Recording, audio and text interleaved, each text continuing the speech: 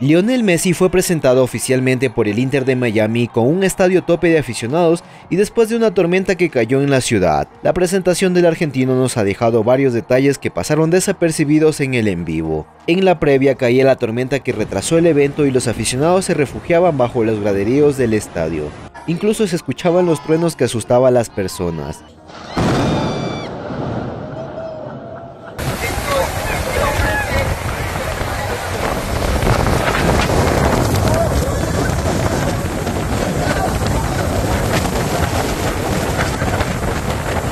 El torrencial aguacero provocó incluso inundaciones por los pasillos del estadio.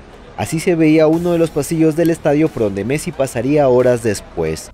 El argentino llegó cuando la tormenta calmó y fue acompañado de toda su familia, su esposa y sus tres hijos, con una camiseta blanca con el 10 en su espalda, llegaba Messi al estadio saludando a todos en el lugar.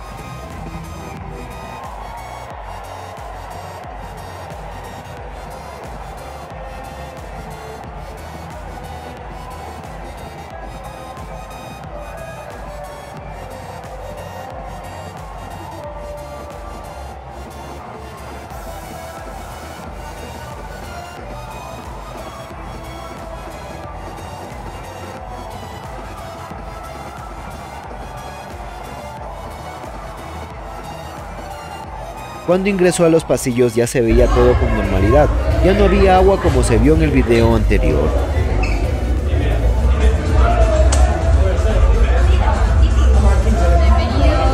Durante la presentación se vio a Messi muy feliz y relajado. Después de saludar a los aficionados y ser presentado, aprovechó para conversar con su compañero Sergio Busquets y también estuvo acompañado de Agüero en el campo. Mientras el Kun y Messi charlaban sobre el césped, se acercó Mark Anthony, uno de los artistas de la noche, para saludar al argentino. Messi también charlaba con Thiago PZK, artista argentino que también hizo parte del show. Durante las presentaciones musicales, Messi bajó al campo de juego acompañado de sus hijos. Thiago, el hijo mayor, se llevaba la atención haciendo este caño a su padre.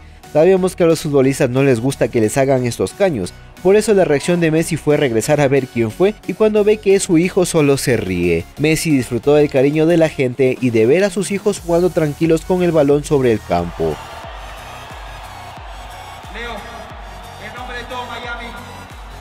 Bienvenido a esta ciudad hermosa. Gracias por venir con toda tu familia. El corazón que tienen es enorme. Y somos unos afortunados de hoy tenerlos a todos ustedes acá. Miami, una bulla bien fuerte. ¡Leo Messi! Messi y su familia no se quedaron para todo el show. La razón es que hoy lunes madrugó para entrenarse junto a sus compañeros.